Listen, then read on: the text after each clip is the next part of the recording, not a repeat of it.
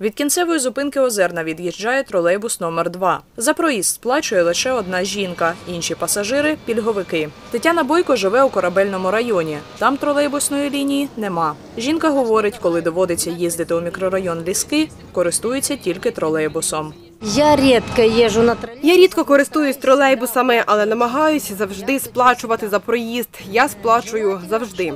Бажано, щоб було більше тролейбусів, тому що вони рідко їздять, і пенсіонери часто на них чекають.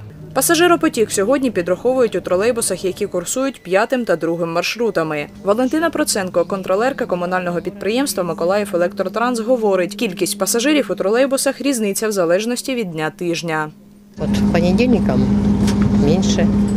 По понеділках менше починається робочий тиждень, і потім ринки починаються. То природно наших бабусь дуже багато, дуже і вони не по одному разу їздять, а дуже багато. Ну якщо у нас пільговики відсотки 80 або 85, то всі інші платники. Контролери КП «Електротранс» та представники соцзахисту рахують пасажирів, які заходять на кожній зупинці та вписують у бланк. Більше пенсіонерів, говорить контролерка Ольга Бойко. Допустим, на может зайти 16 Скажімо, на задню площадку може зайти 16 людей. Із них всі 16 пенсіонери, пільговики, учасники по документах. Один-два може зайти платника. Пенсіонер Леонід Костянтинов говорить, тролейбусів у місті замало. Ну, вот так приходится постоянно почти.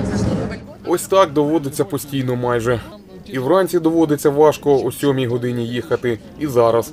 А ось ввечері вільно. Завтра кількість пасажирів рахуватимуть на тролейбусних маршрутах номер 4, 6, 7 та 9. Про загальні результати ми повідомимо після 25 вересня. Валентина Гурова, Ігор Чорний. Новини на Суспільному.